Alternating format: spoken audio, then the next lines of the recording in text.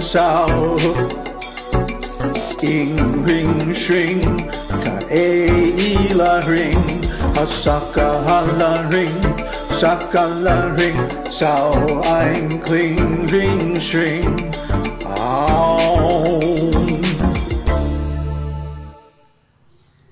Namaste. So, we're going to talk about real knowledge versus verbal delusion. And I want to highlight this because people are afraid to think about how much enmeshed they are in the illusions of name and form. They're afraid of it. Because if they look too closely, they will see, well, like the so called children's story, which is actually quite sophisticated. The emperor has no clothes.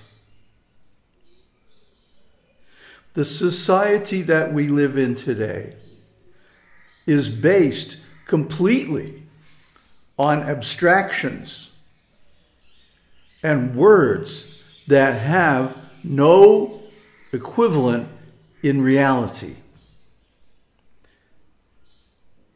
And let alone, we brought up, you know, the examples of nations and corporations and things like that. Let alone that. Well, what about the very first word? I. Why is that the first word? Because it's the root thought of the mind. Every single thought is based on the thought I. But this I is an illusion. it doesn't really exist. We've been talking about this for years, and nobody's freaking out. But if yesterday's video we published that nations and corporations are illusory, just empty words with no meaning, huh? everybody freaks out. I think the reason is that we've been hearing from the scriptures. Well, I think because I don't get any comments on this, huh? Everybody's too chicken to even leave a comment. But I think, in my opinion, it's due to the fact that we have heard from scriptures and preachers, like Zen, especially teachers, saying over and over and over and over again that the ego doesn't exist. And we've become numb. We don't get it. We don't take in the meaning. It becomes, oh, yes, yes, ego doesn't exist. Ya, la, la, la. See? In other words, we have fallen asleep. I think it's not a coincidence that verbal delusion and sleep are right next to each other. because what happens when a person suffers from a verbal delusion is that they go around wide awake but dreaming. And they think that countries and corporations and other things which are built just out of words are real. Then there's another misunderstood quote that goes around a lot from the Tao Te Ching that one who knows does not speak, and one who speaks does not know. And this is misunderstood as meaning anyone who attempts to teach or share their knowledge can't be enlightened. Huh? Well, this is another form of verbal delusion. Because specifically what he's talking about is the Tao. If you try to describe the Tao, just like if you try to describe nirvana, nibbana, or Brahman, it's impossible. It, the, these things are ineffable. They cannot be explained by words. They can be experienced, yes. and they should be. but as soon as we try to explain by words, then we get into the self limiting duality of language. If I have a word like hot, then I have to have a word like cold. If I have a word like up, I need a word like down. If I have a word like Brahman, well, what's the antonym to that? Well, there is no antonym because it's non dual.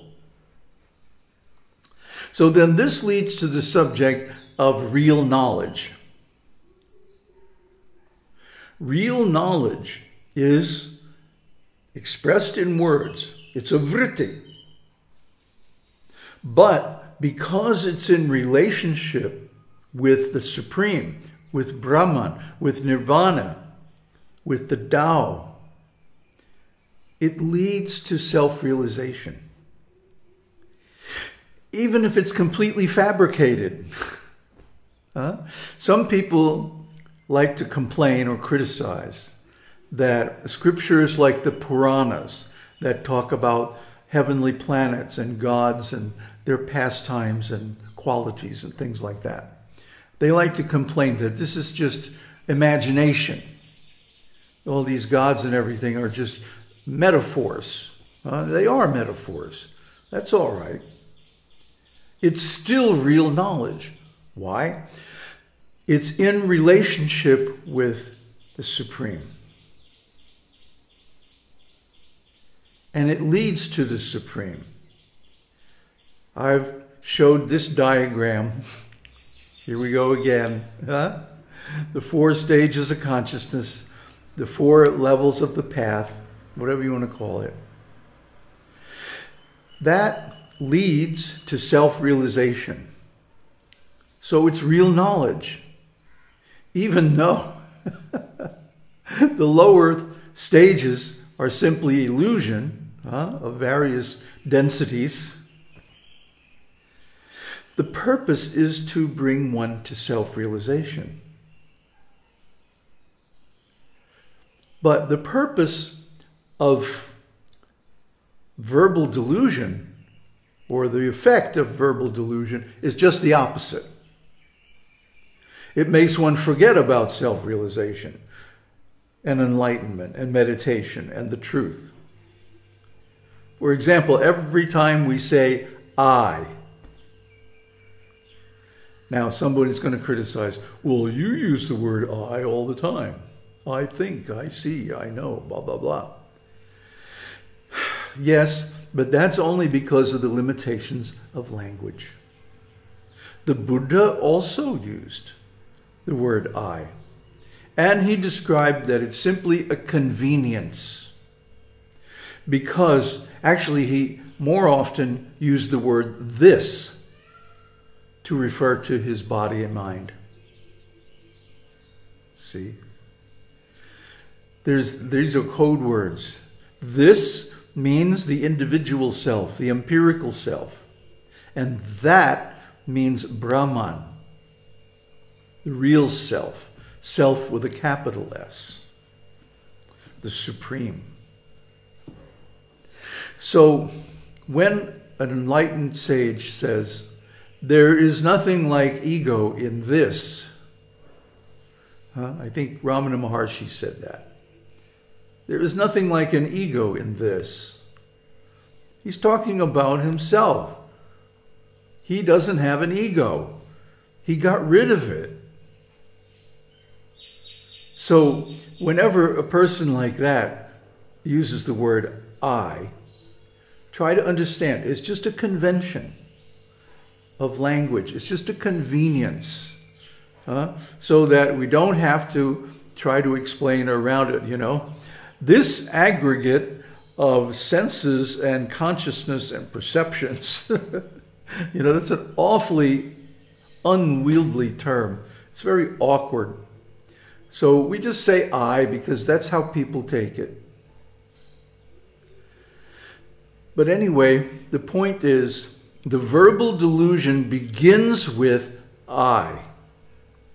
And the real knowledge begins with anything in relation to the supreme truth of Brahman, which is that there is no separate I. See, the Vedas lead step by step. Huh? Just like we've been doing a series on Lalita Sahasranam. And Lalita Sahasranam begins from the dualistic concept that there's such a thing as an I, a separate individual self, and that there's this goddess, huh? Lalita or Maya. And then gradually it's revealed that she is this world. She is time and space. She is light. She is energy. She is gravity. She is even consciousness. Well, if she's consciousness, that means there, there is nothing that we can label as I that is not actually Shakti. So again, we come to the conclusion that there really is no individual, that the creation is a seamless whole, huh? undivided, indivisible, complete whole, purna. And that it emanates from Brahman as an appearance, but it's not really true. The reason why is because it's temporary. And then we go again into the whole thing of anything that's not temporary is not fully real. And that applies to the world because the world appears in the morning when we wake up and it disappears again at night when we go to sleep. So the world is temporary. And then, of course, somebody's going to say, well, the world continues to exist while you're asleep, and then it's still there when you wake up. And the people who were awake while you were sleeping will tell you that. Oh, really? Well, tell me this then. Are these people who are testifying to the existence of the world while I was asleep part of the world? Yes. so you see, there is no source of evidence that can testify to the reality of the world. And this is why it actually has never been proven by philosophy to actually exist. Now, some philosophers will take the existence of the world as an assumption, a supposition, an axiom. But actually, philosophy has never been able to prove the existence of the world for this very reason that from a subjective point of view, it appears and disappears. Therefore, it can't be real. And if we try to establish an objective point of view, anything that we may use as a reference of, for this objectivity is also part of the world. That's why it's called the universe. It's not a duoverse or a tri triverse it's a universe. There's only one. You see? So everything that we think is real, up to and including consciousness, is actually just an appearance in Brahman. So one of our uh, viewers gave a beautiful text from a Zen master Hui Hai. And he's basically saying if there is no ego, no self, then there is no one to receive impressions. Then there is no one to be conscious. Therefore, consciousness and impressions are simply illusory. They're not real. See, all this leads to the state of dissolving the ego and attaining complete self realization in Brahman, which, of course, is the object of all spiritual life. Aum Tat Sat. Om Shakti Om.